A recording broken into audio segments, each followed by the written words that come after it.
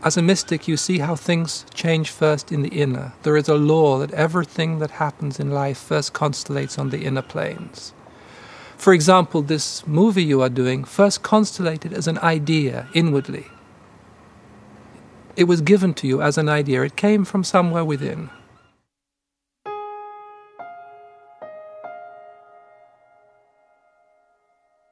In the spring of 2002, I think we all had a lot on our minds, but why the idea to make an independent film? I don't know. So, since I have no idea how to make a movie, I figure I'm going to need some help.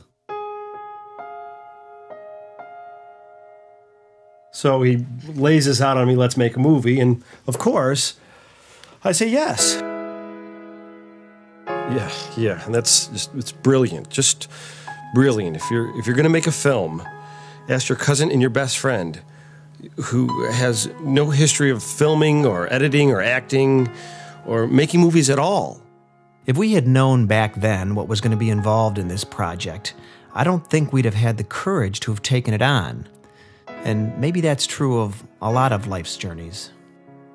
When we first started the project, we, we said we wanted no fear and no attachment no fear of saying that you know someone's not going to like it no attachment by saying that it should be something and the um, reality is that you can't um, really do that.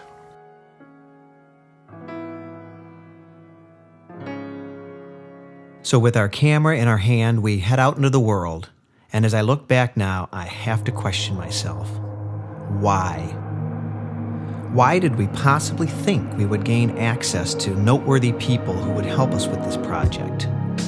Why would a group of guys from Detroit with absolutely no experience in filmmaking possibly think we would be able to meet, let alone interview, some of the world's greatest priests and rabbis and imams? But they came forward. As I look at their faces now, I'm amazed. Indian yogis, masters from the East, African kings, they volunteered to help us with this project. We were joined by Catholic monks and Buddhist nuns, Native American medicine men, great minds, cultural icons, authors, celebrated thinkers, people working at a very high level on the international stage. And they gave of themselves to us without qualifying us, without asking us who we were or what our credentials were, knowing only that our project was about oneness. And the power of that energy alone, they opened the doors and they let us in. And so I think it's important as we tell this story, as we tell the story of this movie and the story of this journey, that we honor all of that love and positive energy that these wonderful people gave to us. And I hope we can do that. Describe what happens to a person after they die. What is everyone afraid of? What is heaven? How does one obtain Describe truth? God. stands on the way of world peace? when is war justified What is it that does not allow people to live to their full potential? What is the meaning of Meaning of life. Can you remember and begin to see the nebulas of our thoughts birthing atoms, molecules? This golden web of life. It is silent. It's eternal. It is shimmering. You and I, we are nothing but a tapestry of dreams, each I mean, we had to remember we're just a couple of guys trying to make a movie in a basement in Michigan. yeah we, we found out we couldn't do what they do in hollywood So we decided to go back to the basics, and our new beginning for the film came in the form of a simple, beautiful woman, Sister Eveline, who, with three words, gave us a new start to the movie. Growth entails healing. At this, at this time in humanity, most people have been hurt fairly seriously in their grow in the growth process. And unless unless they do their healing and work through this negativity, they will never become totally who they are.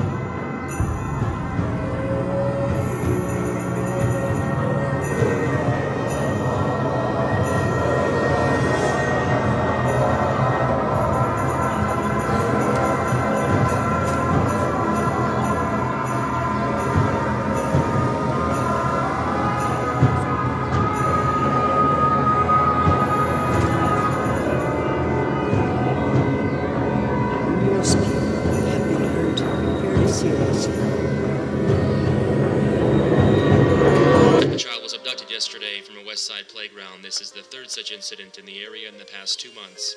Three people are reported dead as the result of an early morning shooting spree outside a downtown bar. Police are holding two men in custody. The Ambassador Bridge has reopened after what officials describe as a credible terrorist threat. Details following this report from Washington. You're listening to the Bob Dutko Show on 103.5 FM, WMUZ The Light. Fearlessly defending the faith with you as always. A little bit of a departure from our regular Free for All Friday. This is where we're giving you folks a chance to participate in this documentary that's being put together. The first interview that we did was about five weeks after we had gotten the camera in the mail, and it was at a Christian radio station. It was on a Christian radio talk show, the Bob Dutko Show, and he actually put us on the air. People from a lot of different cultures. They're going to be asking these questions Of the Hindus and the Buddhists and the Muslims and the atheists and the Hare Krishnas and everybody else. And they're also asking them of the Christians. And guess what? They're going to be asking me a bunch of these questions in an interview after the show. But in the meantime, we're throwing out some of the questions to you and giving you a chance to participate with some of your thoughts on this. So, the question on the table right now if you were granted one wish, what would that one wish be? Let's get the Christian perspective on that. If you're granted one wish, what would that wish be? Off to the phones we go. We'll start with Rod in Belleville. Rod, hi, you're on the Bob Dutko Show. Hi, Bob. I listen to your show and I really enjoy it. Thanks, Rod. The one wish I have, and, and I'm a pastor in the Belleville area, is that everybody would come to know Jesus Christ as their personal Savior. That's it. You know, that's the big kahuna, right? Everybody in the world, all six billion people, boom, let's go. Get on your knees, right? Would that be a wonderful, wonderful thing? What an incredible thing that would be. Two days later was our next stop. It was the summer solstice picnic of the Michigan chapter of the American Atheists. God is make believe. God is fairy tales for adults. God is uh, a belief system that is not credible, has no evidence. God is just something that is made up so that people can deny the truth of death. We had just learned lesson number one oneness is not about being the same. It looked like things might get a little confusing. The all encompassing smile gently says, God loves you. Oh, why smile? You don't even know me. Well, I don't want to sound so eccentric, but to be very, very honest with you, again, I have to realize that Jesus Christ is life. In St. John, the 14th chapter, he stated in the verse 6 I am the way, the truth, and the life. No man me, cometh unto the um, Father there except is no by me. sort of God. This is the only way. Uh, I grew up that we can Catholic, and if God. my school sees this, I'm fired because I teach in a Catholic school. But I don't believe in God per se. Um, I believe in the kind of beautiful famous goodness. joke that the that theologians tie- tell, where little Johnny is asked by the preacher, uh, Johnny, do you know the meaning of faith? Uh, do you know what faith is? And he says, Sure, I do, preacher. He said, What is it? He says, Faith is believing what you know ain't true. Walk in the path of God, Smile says. But again, I find myself trotting along the path of man. It's where I live, for crying out loud, directly linked and fully bonded with human Your soul souls. goes up to heaven. Comedy show, ladies. You need to go to the show. And what else? and all that baggage that comes with it, draped with human attributes, full of folly and foibles, so outlandish no imagination could conjure them up. We're living in the last These days, and are real stories. A lot of things are going on, like homelessness and you know, drugs, alcohol, and a lot of gang activity. I don't know. Maybe it's hard to find work and things like that. So some countries are in the dump, some countries are up, some neighborhoods are in the dump, some neighborhoods are nice. So that's the answer to that question. Mr. Man with a nice shirt. What else? These are real stories unwinding in cities and towns all over the world, in many languages, through every culture, lives weaving their way like webs.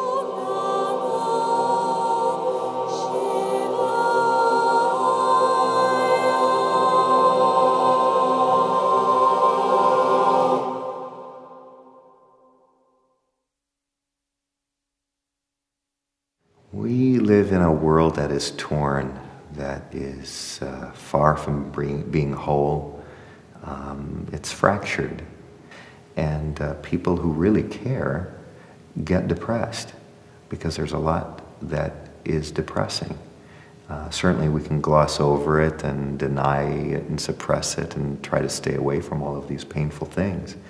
But if we're really a, a citizen of the earth and connecting with what's going on, we have no alternative but to feel lots of pain. Stretching in all directions, mothers and daughters, fathers and sons, brothers and sisters, meeting friends of associates, until everybody falls into their roles with their responsibilities and obligations and schedules and appointments, cancellations, reappointments, classes, interviews, surveys. Where did. I come from? What's the meaning of my existence? Do I have a soul? What happens to me when I die? Does God exist? Does she care about me? These are the qualities that human beings have. You know, we are the only species that is aware of our mortality. And with that comes the great uh, desire to to look into the unknown. If you're not totally amazed and bewildered and mystified by yourself, then you are still not fully human. Eventually, we were able to put a face on this struggle. It was a group of teens in the mountains of Colorado, and we had stopped and decided to try to do some street interviews. And we had asked one of the boys the same question that we had asked back in that radio station. And the honesty of his response said more than his words could ever say. If I had one wish for the world, um, if I had one wish for the world, I would have everyone. I don't know. I'd have to think about that.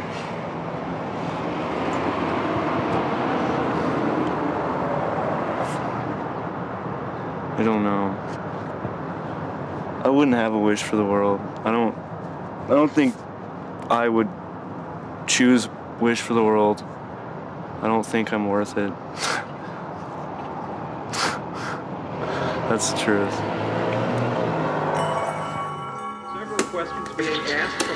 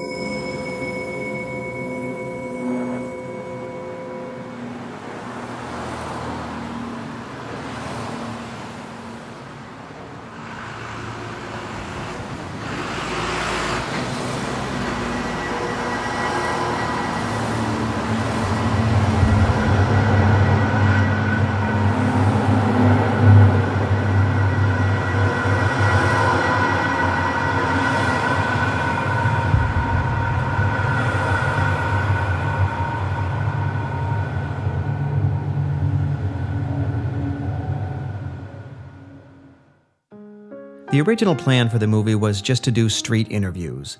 We were going to get our camera and put together a list of questions and talk to people on the streets and try to get a broad cross section of humanity answering these questions.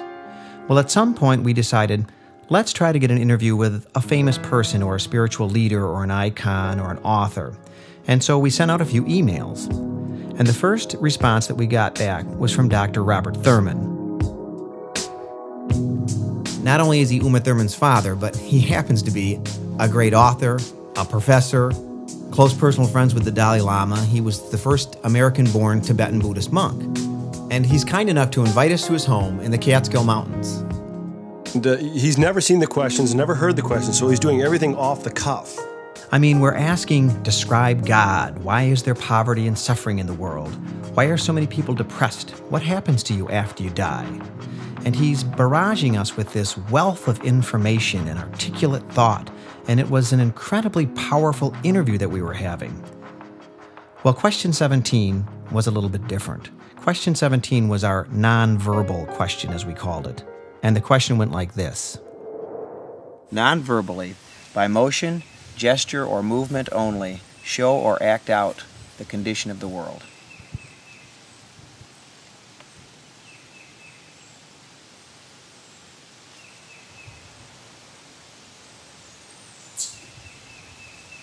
Now, at about this point, as the guy asking the questions, I start to think to myself, gee, I wonder what he's going to do.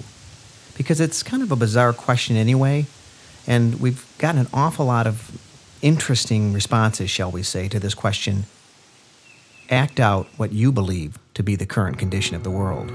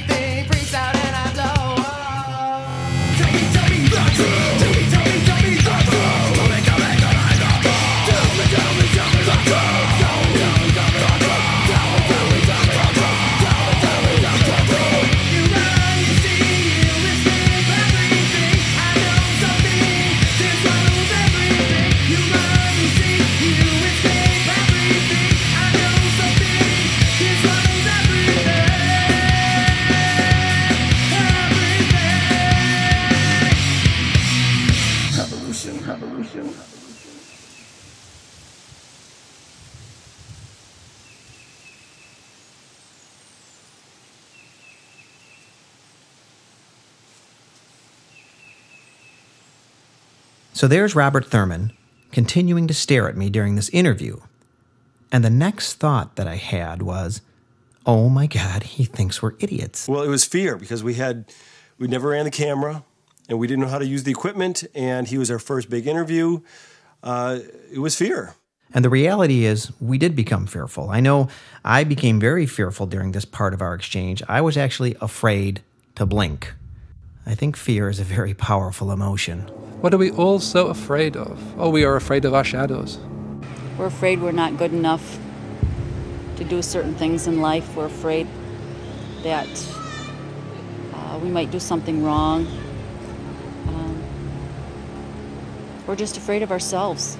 We're afraid of ourselves. We're afraid of ourselves. We're afraid we're not worthy. We're, we're afraid we're not worth it. I think we're afraid of knowing who we truly are. We're afraid of uh, what this world might do to us. We are afraid of the darkness inside of us. We're afraid we're broken and failures and we'll be discovered, and then, then we'll be shamed and shot. We're afraid of our power. We are afraid of our inherent dignity. What everyone is afraid of is just the simple process of life. Fear prevents people from living to their fullest potential. There is a price to pay to confront your own fears, your own anxieties, and to, to go deep within yourself. It is much easier to project it and to have enemies outside or people you dislike, or then you can project your problems and it's somebody else's fault. The, the ruthless the ruthless will prevail. Whoever is the most ruthless in this situation is going to prevail. And if we pussyfoot around and want to love our enemies and stuff, we will lose. They will conquer us. And I think there's a couple billion, many too, uh, too many people in the world, and we have to eliminate the enemy. Anybody who wants to be a suicide bomber, we should kill their cousins, their aunts, their uncles, their mom, their dad, their brothers or sisters, three generations removed, kill them all. People don't like, some people don't like what I have to say because I don't have the peace-loving viewpoint. I believe it's kill or be killed. This is a war, and if you, is, that's the way it is.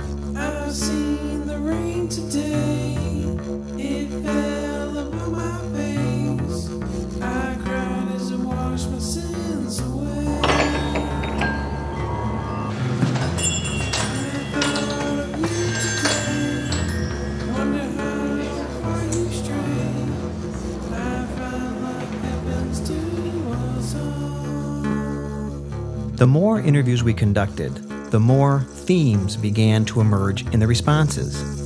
And one prominent theme seemed to be fear. Thomas Merton, one of the greatest Christian mystics of the 20th century, once wrote The root of war is fear.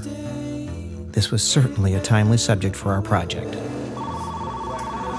Pacifist, a few leftover hippies I'll from be the right 60s back. attended, shouting their message of love and let live.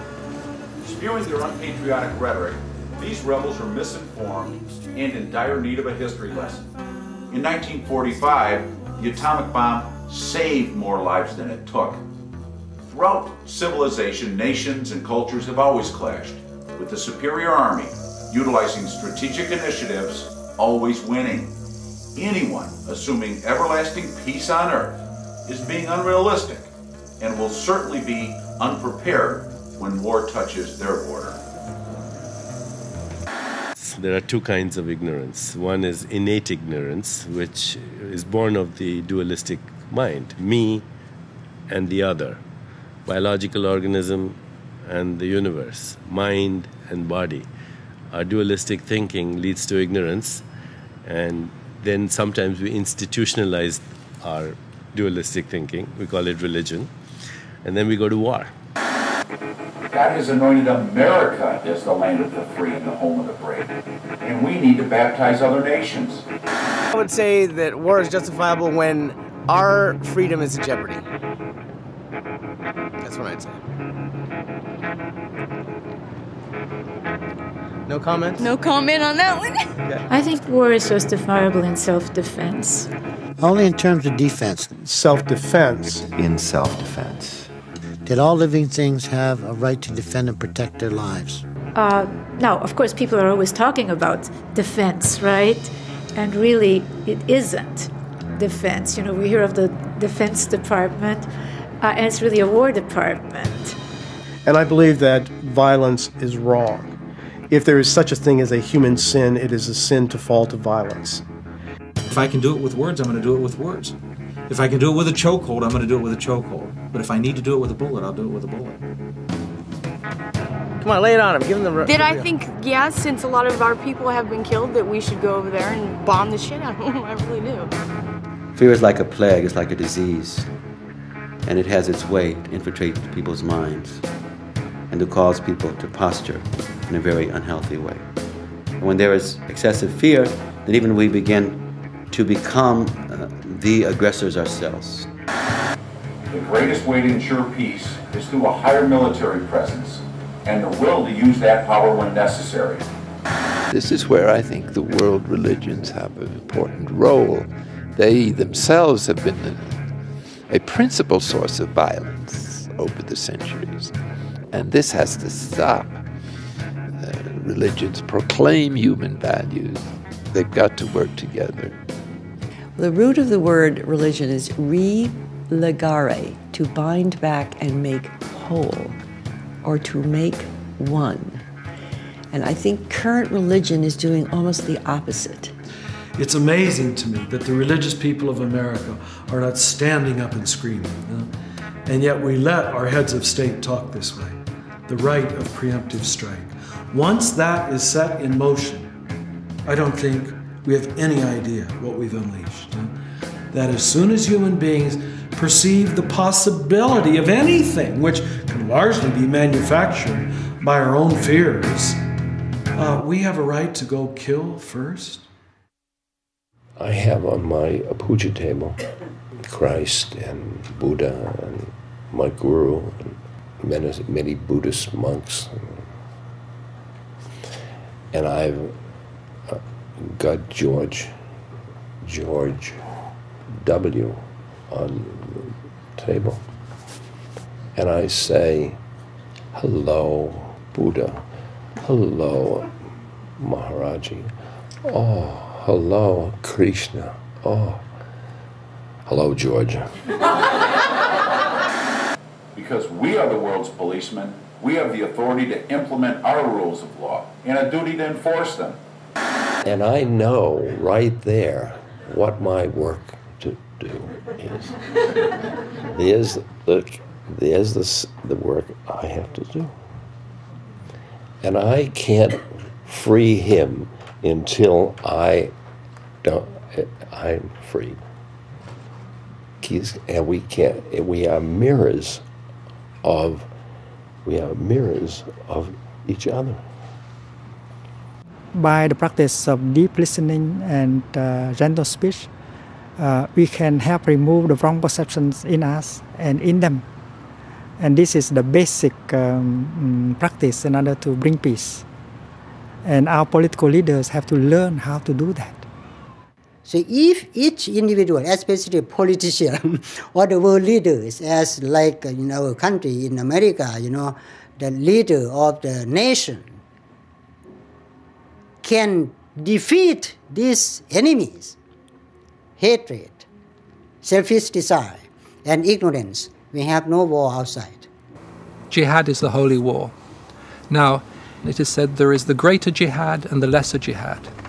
And the greater jihad is the war against the nafs, one's own lower self. And anybody who embarks upon any serious spiritual quest has to conquer their lower nature.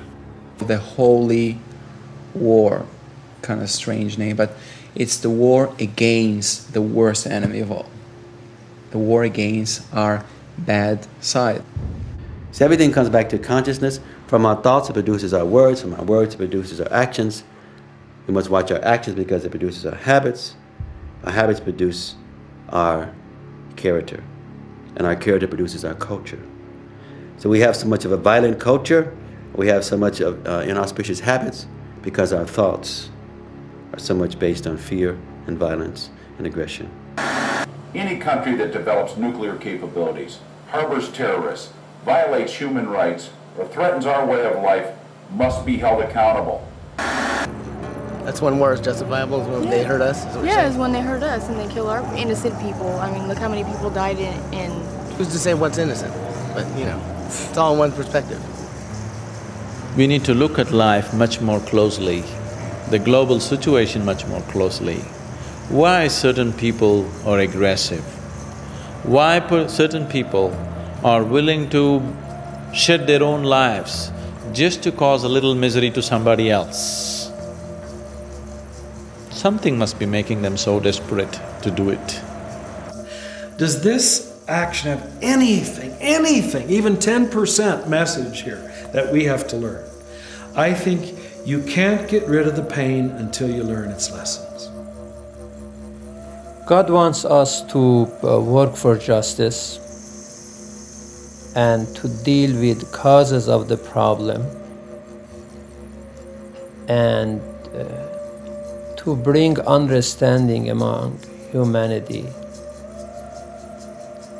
and to fight poverty and injustice and oppression that are causes of many, many problems in this world. There is great iniquity in the world, a lot of imbalance. 80% of the world's resources are consumed by less than 20% of the world's people.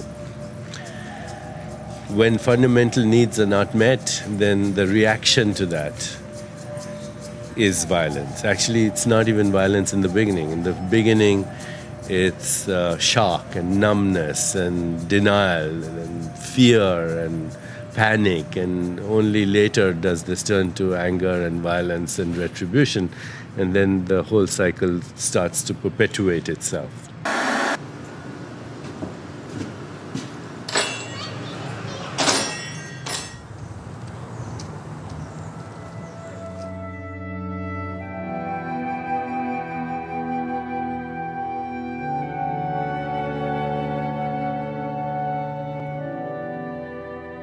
So here we are, the inheritors of the whole of creation, so to speak, the whole of evolution at least, uh, with an intelligence that's somewhat impaired by the fact that we have come to this place largely through competition, violence, selfishness.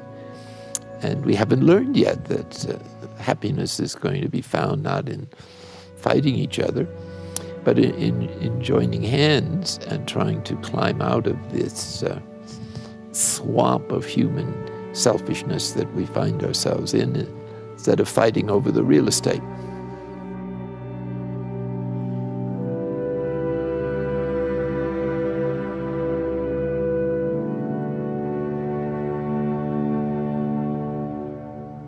The magic of the movie was more than just getting great interviews. It was people coming forward and helping with camera work and production help, and even things like music for a soundtrack. Michael Fitzpatrick is a world renowned cellist, and he traveled with the Dalai Lama and wrote this music for him that they call Compassion. Well, one day, about four months into the project, we get a box in the mail, and it's the Compassion CD from Michael Fitzpatrick with the rights to use the music. And speaking over the music is the Dalai Lama himself talking about compassion. Genuine compassion is uh, irrespective what others' attitude towards you. But so long, as the others also just like myself, you they want happiness, do not want suffering, and also have the right to overcome suffering. On that basis, you see, develop some kind of sense of concern. Now, that is the genuine compassion. Now, unbiased, even towards your enemy. So long that enemy also uh, human being or other form of being. So they also have the right to overcome suffering. So on that basis, you see the uh, sense of concern. That's compassion.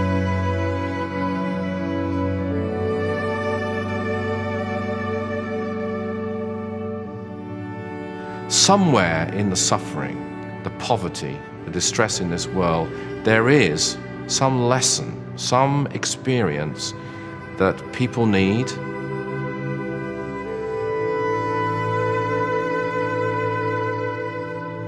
probably the most important quality humans possess is compassion.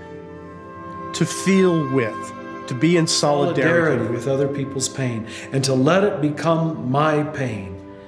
I think uh, evil is the absence of consciousness, of empathy, uh, of being able to feel with another. If you allow yourself to be vulnerable and let the pain in, once you let the pain in, you can't be a hard ass anymore. You just can't. Do you understand? A pickpocketer come and pickpocket my money, the money I work so hard, and then I cannot love the pickpocketer. I cut his hand, and I look deep in his eye. Who, who, who, who is your father? I don't know. The pickpocketer said, Who is your mother? Mother is there.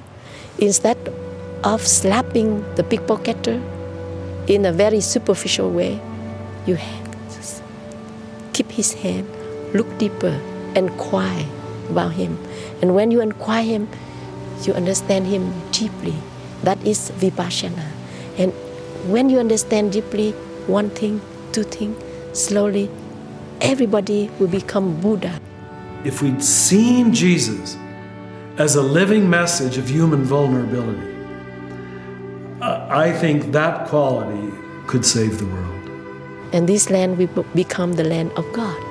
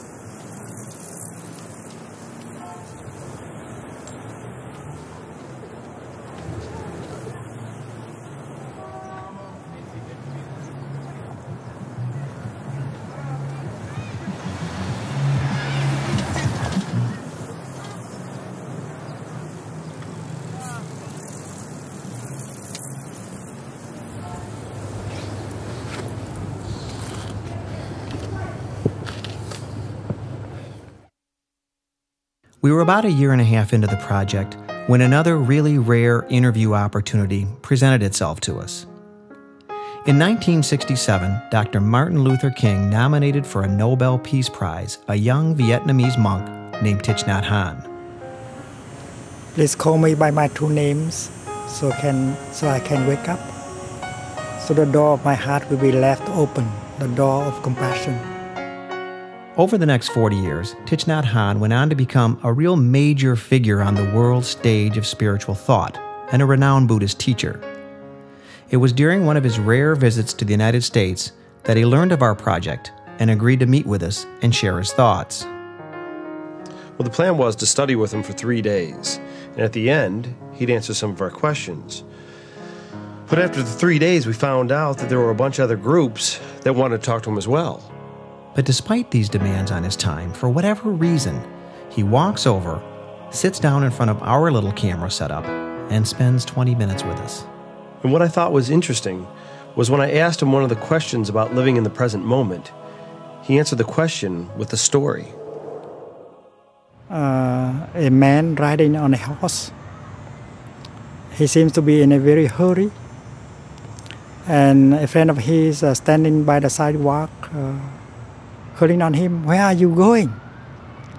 And the man on the horse said, I don't know, you ask the horse. It means that we are not, we do not know where we go. We allow the situation to carry us away. We are not in control of ourselves. We do not live our own life in the here and the now.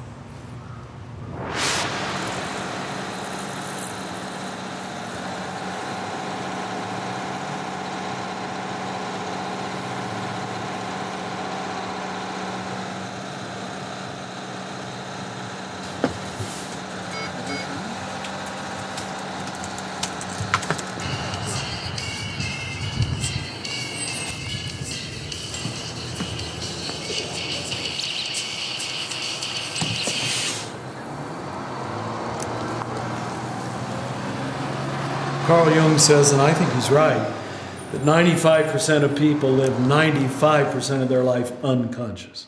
They're just on a conveyor belt. They can be bought off very easily. We see this, how the media can almost create any mentality at once in America, usually within a week. And we're all, and we think we're intelligent people, huh? But you can tell there's no ground or center in here.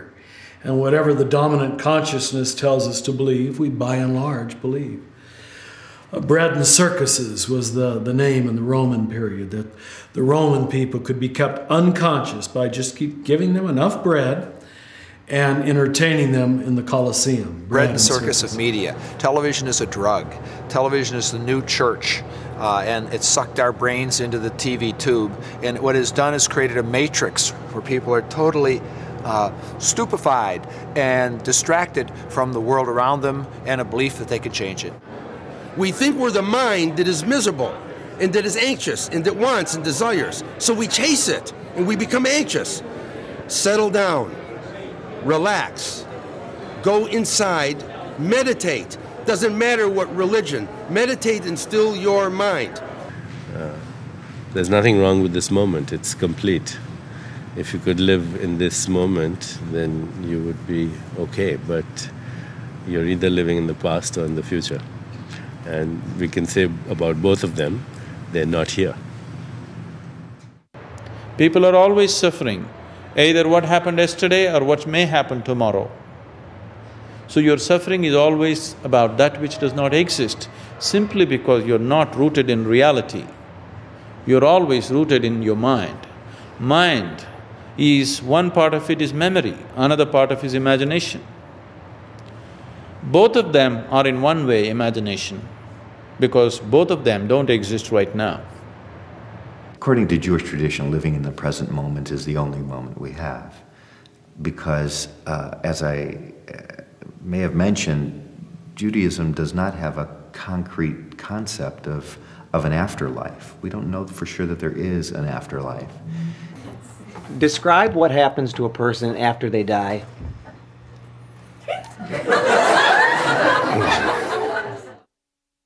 In what certainly was one of our most interesting interviews, we were able to actually get a first hand answer to this question about what happens to a person after they die.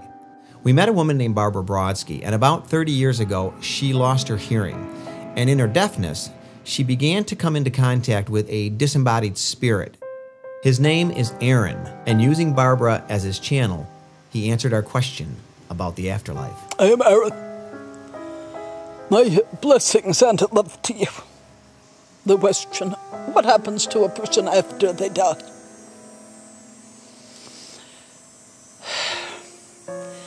Death is safe. You have all done it many times. If it wasn't safe, you wouldn't be here. The experience of dying it's like being underwater for too long, so your lungs are gasping for breath. There's pressure against your body. This is the life experience. And then you come up into that sweet air. Suddenly you're free of the pressure and constraint. Death is like that moment of emerging into the sweet air. It's very peaceful. When you die, you go on to a, um, a soul village. When we die, we go over to Indian camp, Indian villages, that part of the spirit world. If you're a white person, you go to a European camp or European villages, European spirit world. Well, I like to believe that depending on how you were in your life, yeah, during your life, you go to heaven or hell, unfortunately. But I like to think that everyone's going to go to heaven because God loves us all. The trick is we have to accept Jesus as our Savior, and then we get into heaven through His perfect blood that washes us clean. So I don't get into heaven on my own good works. I don't get into heaven because of what I did good. Because anything that I do is not good enough to get me into heaven. If you're black, Afro American, you would go to that kind of cultural world. The Bible says that people would be judged according to their actions. So those who have done something good, they will go to eternal life. Those who have done something bad, while here on earth, will go to eternal hell. If you're Asian, you would go to the Asian spirit world. So some religions said God love poor people.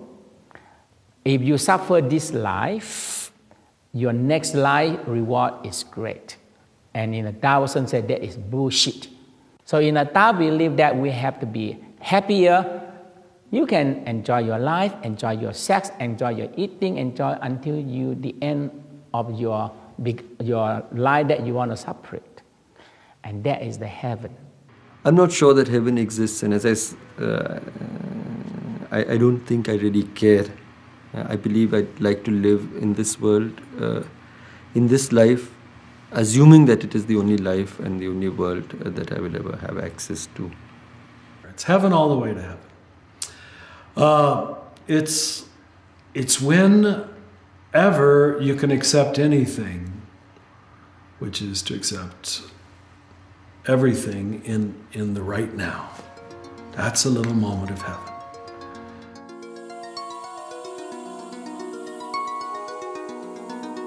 The one, the one the one. The one, this is all the manifestation of the one. It manifests in cosmos, nature, in all the qualities of nature, in the poeticness of the natural world. The one is creative. Look at it, it's creative. Look at it, it's creative in butterflies and in seagulls and rivers and mountains and heaven has not yet been created and when it is created it will be a place where everything and anything you wish for is right there for you I've, you know to be honest with you i've not thought about heaven.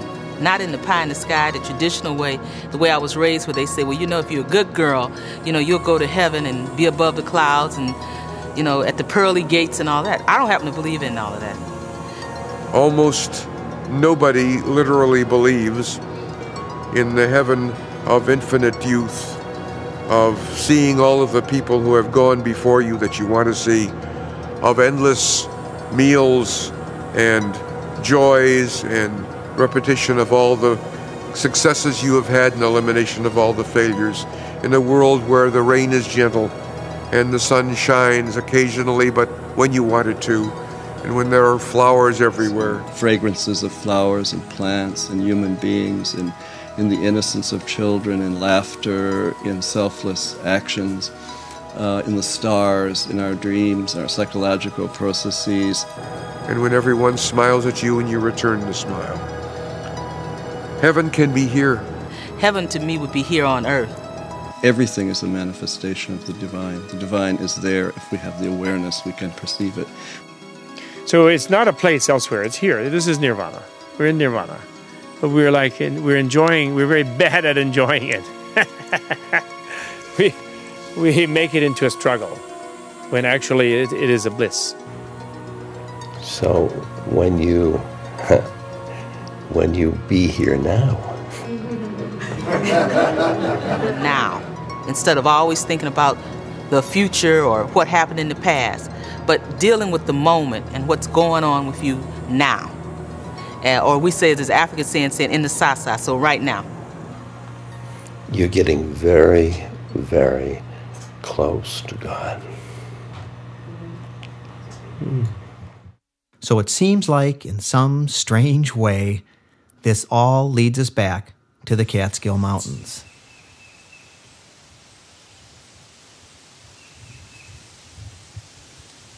So, after wondering what he was going to do and then being afraid of what he thought of us, as we continued with our eyes locked, I was suddenly overcome with a sense of the present moment. This powerful sense that I was a 45 year old man making a movie of all things, sitting on the top of a mountain on a summer afternoon with Dr. Robert Thurman. And I knew in that moment that this journey had great meaning.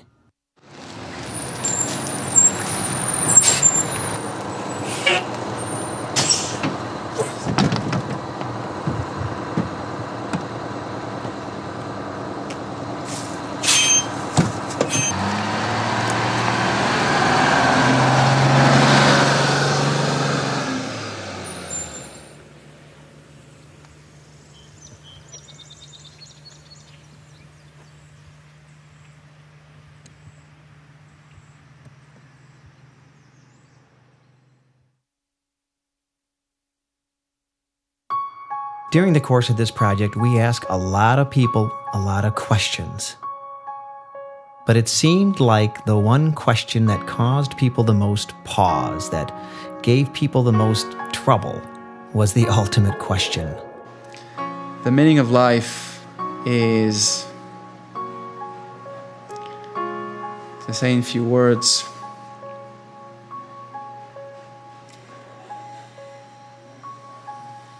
The meaning of life. Um, God, that's a, that's a, that's a good question. That's a really good question. Um, we're here because uh, uh, that, that big question. What is the meaning of life? The question is actually absurd. Um, God. For me, I couldn't tell you. I have I have never really thought about that. I I don't know enough to answer that question. Uh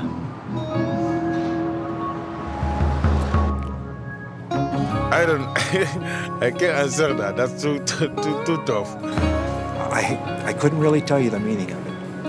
I don't know. I don't I don't know. I can't answer that. I don't know why we're here. Cheers. Trying to happen here. Something is being born. Like a phoenix rising out of the ash. Something is being born.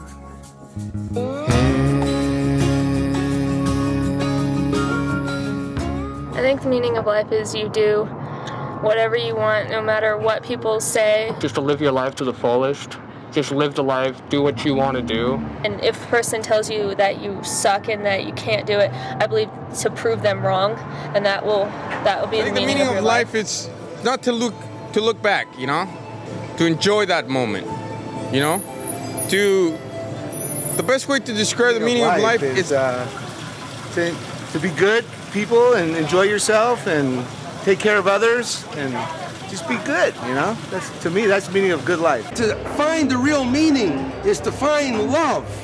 Love. Christ is love. Buddha is love. Krishna is love. There is a great power giving us life, and that gives us meaning to find that great power.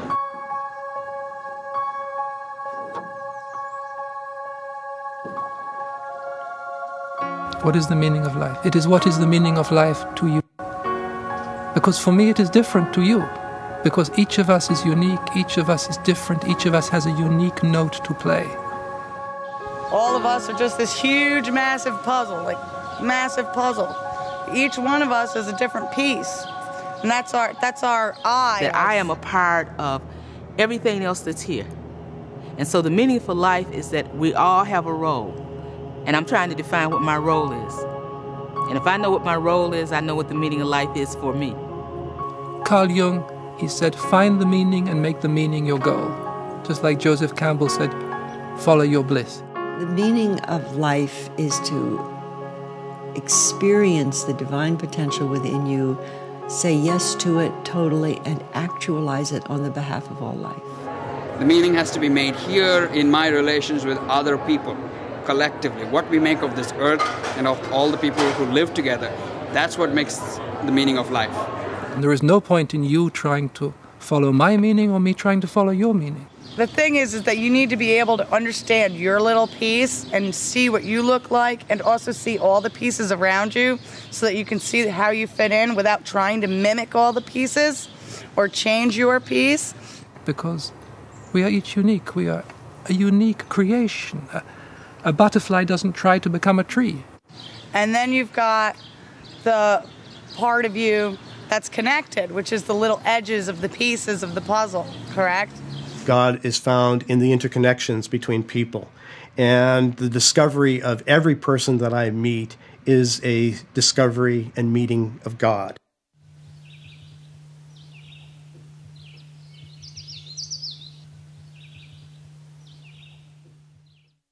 As we look back now, having completed all of the interviews, it seems like the meaning of the project wasn't found in the answers that we got. It was found in the people that we met, the people that came forward, and they became like partners to us in some strange way. Maybe the best example of that is Llewellyn Vaughan Lee. He's this great Sufi mystic who invites us to his retreat in Northern California, and while we were there, he answered the question, What is the meaning of life? But when he was answering the question, it was as though he was talking directly to us about having come together for the project. And what he said was, when your meaning and my, my meaning, meaning for a moment intersect. And then we are outside of space, outside of time, and we are working together in a totally different way that is that affects not just you or me, but the whole. And that is very meaningful. See a face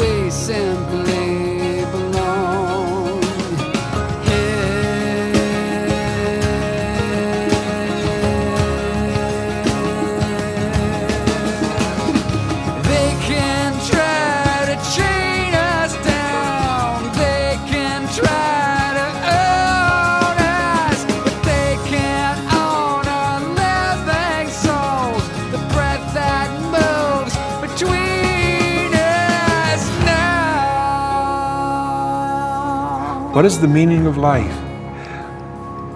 The meaning of life is to As a Christian, to me, the meaning of life is to know God and His Son, Jesus Christ. The meaning of life is to make a decision where you are going to spend eternity, plain and simple. The meaning of life is to be obedient to your God. To worship Him, to, sub- to praise Him. Those who deviate from His path, they are dead, even if they call themselves alive. He is a God of judgment, He is a God of wrath, and a God of consequences. Um, let me think about that. If there is a God, I don't want to believe in him unless he accepts all of us. Instead of condemning the ones the ones he wants to. Describe God. Describe? Describe God. Describe what? Describe God. I didn't get you. Brahma. Describe God? Oh. Describe God.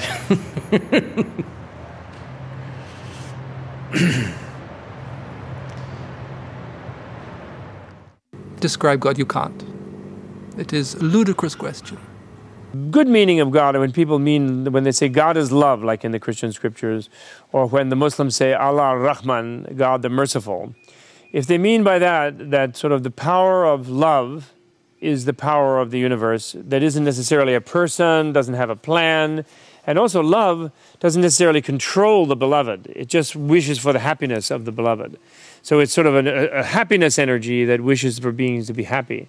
If God is defined that way, then there's no question any religious person of any kind, whether they're theistic, or monotheistic or not, they would agree with that uh, definition. The personal definition, like the angry God, the God of this tribe, that sort of thing, those things are, are a little bit problematic from, uh, from an enlightened point of view. The great mystics of all the great world religions Islam, Judaism, Christianity, Buddhism none of them are afraid of God. Huh? God is not a person, is not some sort of character who sits in a chair or something. God is certainly not a dead white male in the sky. He's not like some big old white dude sitting up there on a diamond gem throated throne, throne, you know, with a long beard, you know, looking, uh, you know, all elegant and uh, snooty and looking down on people. When you say describe God, you have a firm assumption that there is somebody sitting up there. This assumption has created enormous pain and suffering to human beings on this planet. So if there is something called creator, if there is a force or a person or a thing which is creating all this, where can it be? Are quick? the chimiach. See, he listens. The creator is everywhere, just like I said. The Muslims say that God is closer than your jugular. He is closer to us than this vein here. And God is certainly closer to me than my jugular vein. He is closer to us than our hearts. And God is to be found in the heart of every living entity, as well as in all the atoms. Smaller than the smallest. One could say smaller than an atom or an electron, and greater than the greatest, greater than the whole universe, is the divine reality. That God is in everything, everything is God, everything is a part of God. We call the Wu Chi, the nothingness, the center of the universe. So in the Taoism, we don't give them a name of God. Tell them that God is not out there. God is beyond even our idea of the beyond. You can't describe it, you can only feel it. The real goal is something much more amazing, you know. It's much more fantastic. Like a phoenix rising out of the ash, someone waking up. What is the meaning of life?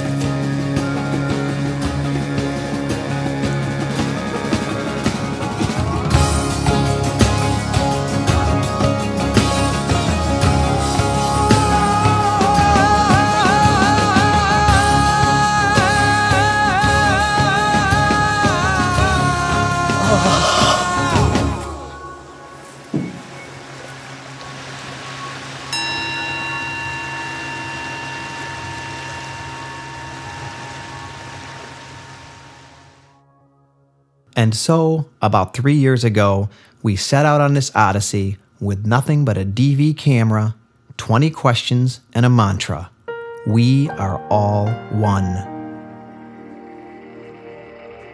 But what began as kind of a lark amongst friends to try to make an independent film, somewhere along the way turned into a life's journey. And what started out back then as a kind of kumbaya notion of oneness also grew into something much greater. Somewhere along the way, oneness became more colorful. It's a hundred percent a fact that we are all one. Look, if you went to the moon and you looked from the moon at the Earth, you would see one Earth. You wouldn't see white people, black people, red people, monkeys, ants, flowers, bees, water, air, rain, non rain, desert. You wouldn't see all of this. You would see one Earth. Ontological, astrological, beyond energy, beyond light, beyond sound, beyond perception, beyond mind. We are all one. And oneness became more intense. But just imagine for a moment that you looked around the room right now, wherever you're sitting, and you saw that that vase of flowers, that window, that microphone, that camera is it's like looking at yourself and how you would feel about those things and those people if you knew for for a moment with great certainty that that was true. And I think the answer is right there. And oneness became more inclusive. And so, We Are One is an exploration of discovering that the oneness is in, paradoxically, in the multiplicity, plurality. Uh, despite the fact that we have we have a lot of differences in terms of ethnicity, ethnicities and nationalities and different traditions and in terms of our geog- uh, geographical location, the Israelis and the Palestinians, Bosnia, Chechnya, Pakistan. Iraq, and We are American, we are Dutch, we are German. Jews and the Palestinians, the Christians and Muslim, Arabs. Buddhist, a Hindu, a Jew, a Muslim, an animist, an atheist. East, west, north, south, up and down. All people. There are hundreds of languages, probably hundreds of races that exist in our world today. we the fact remains that we are all one. We are all one. We are one. نحن كلنا موحدون. And oneness became more internal. Ask yourself, who am I? What do I want? And if you go really deep into this, who am I? Very deep into this, you'll realize you're not your body, you're not the mind, you're not even your personality. You're the infinite being. And oneness became richer and more beautiful than we could have ever imagined. We are all unique, each one of us different. And it's so wonderful that we're different. We may spring from the same oneness of our interiority, but as human beings, as individuals, every one of us is unique. We are different, that's what is beautiful about us. So at least let's enjoy the difference. If you learn to enjoy the difference, if you see that every human being is a unique human being, only once, in the whole eternity, only once this kind of human being happens. You cannot find exactly this kind of human being anywhere else in the existence at any time in eternity, only once. That is true with yourself, with your friend, with your enemy, with your loved ones and the ones you hate, all of them are absolutely unique. Anything that you see as unique, you value it. Anything that you value, you will have no problems with it. And oneness will happen out of that.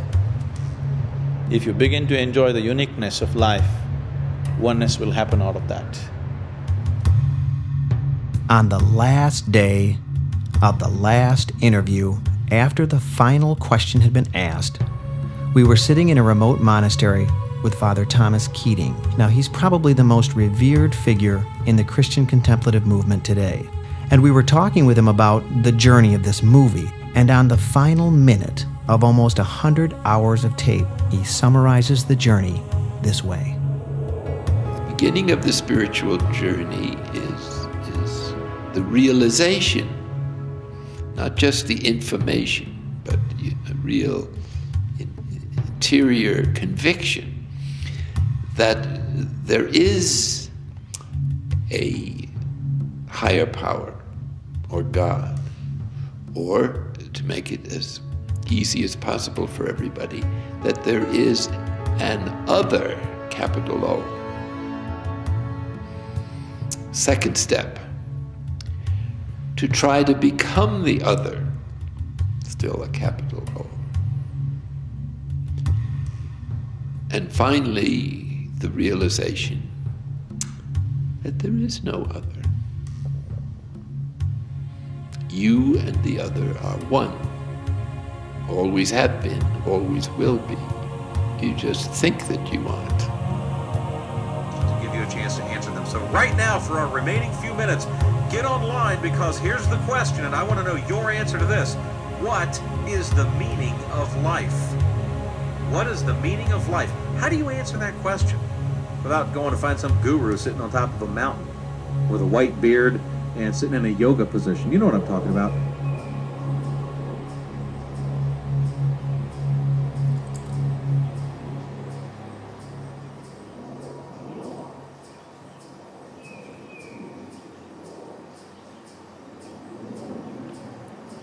Okay. Thanks. It is our work, the work of you who are making this film, the work of the people who are watching the film, to bring this next level of evolution into being.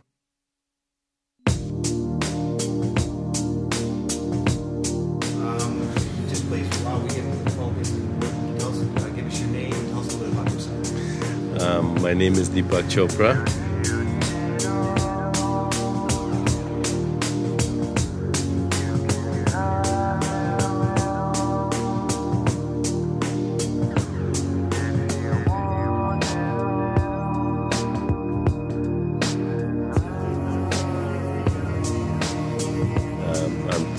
Deciding what I'll do when I grow up.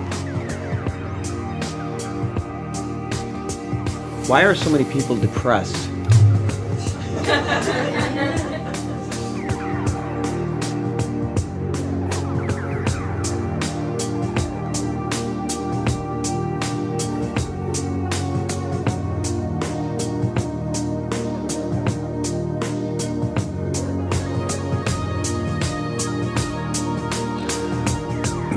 Because the game isn't as much fun as they thought it was going to be.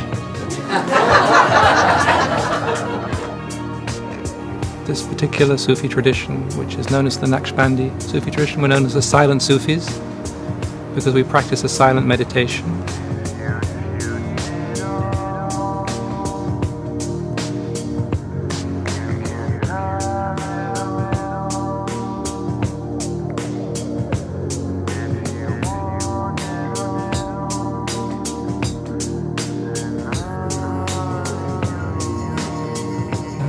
Tradition goes back to the 13th, 14th century in the Middle East. How's that? What is our greatest distraction?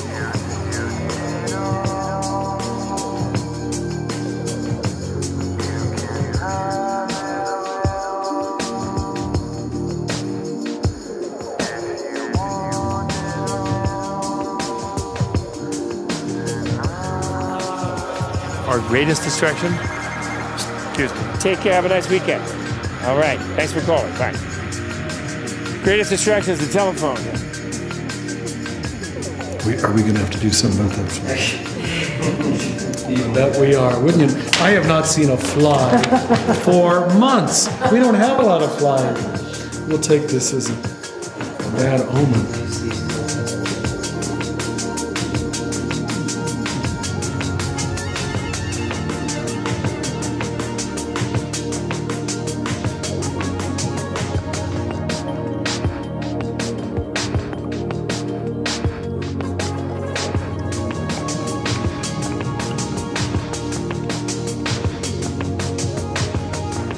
He will keep reappearing. I don't even think we have a fly swatter.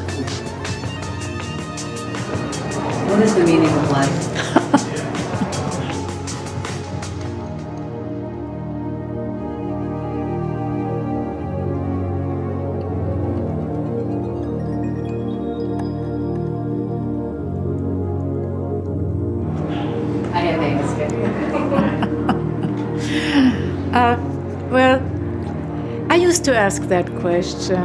I used to want to know where does infinity end? I mean, we just don't have the equipment.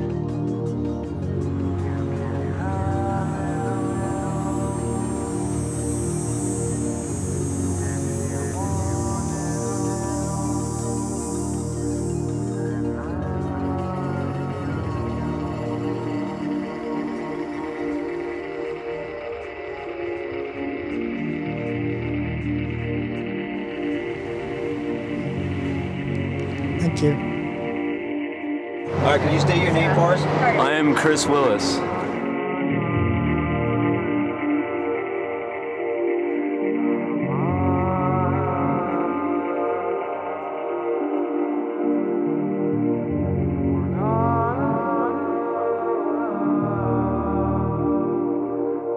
What makes you happy? Nothing makes me happy.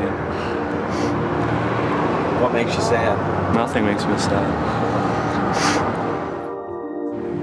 Uh, I'm Sadhguru Jaggi Vasudev. What should I say about myself?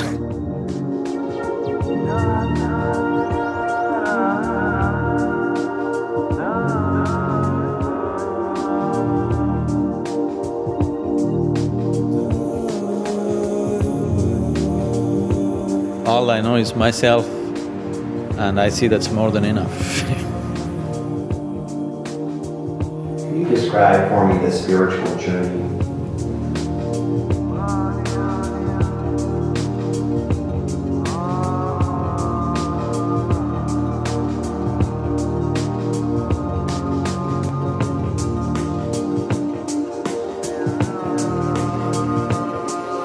Well, uh, have you got a few hours?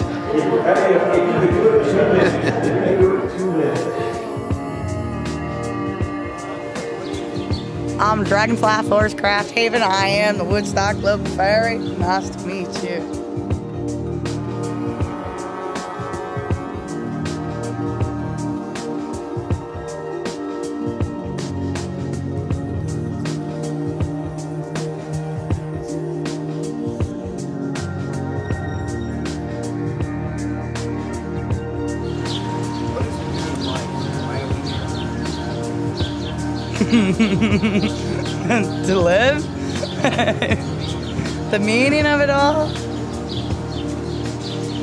That all depends on your perception. By motion, gesture, or movement only, show or act out what you believe to be the current condition of the world.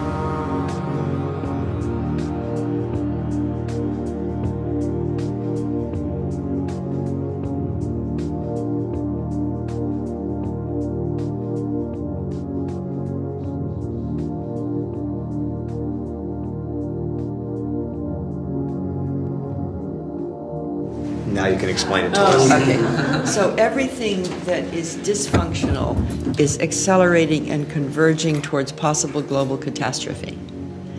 Concurrently, at the same time, everything that's creative, compassionate, and uh, innovative is rising, and everything that rises tends to converge. And at some point, there's going to be a convergence of that which is emergent, and it goes, and you end up with a new world. Thank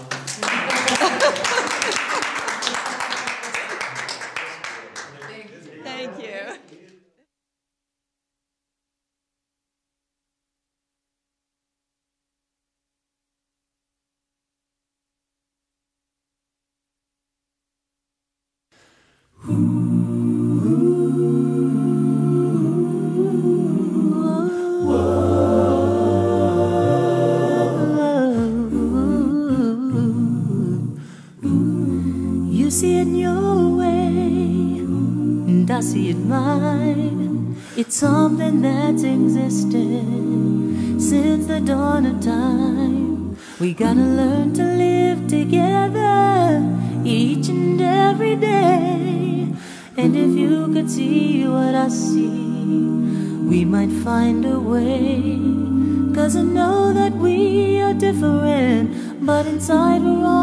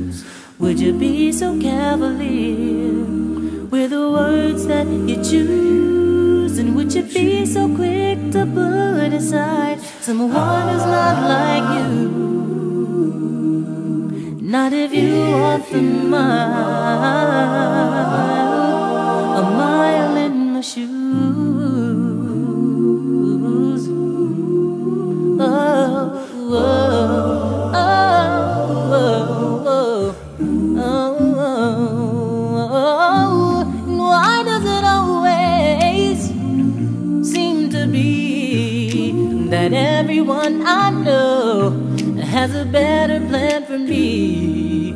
Well, I'm just trying to get my life straight, doing things my way. And if you would only listen, there might come a day when you don't only think of me as a smaller man than you, but an equal part of a bigger plan that's gonna see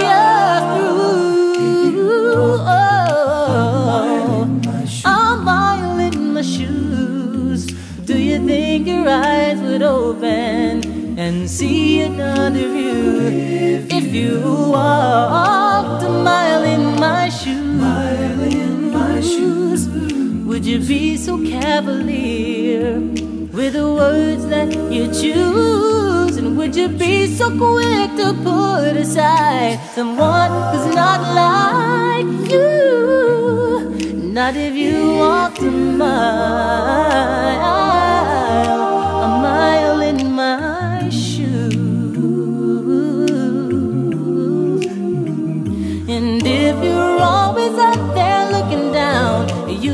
never see what's true.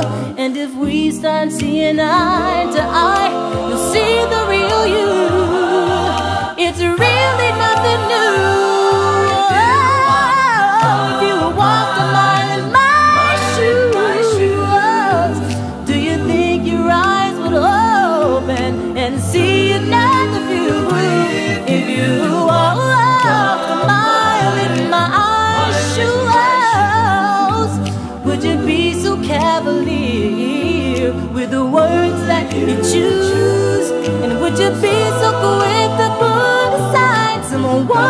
who's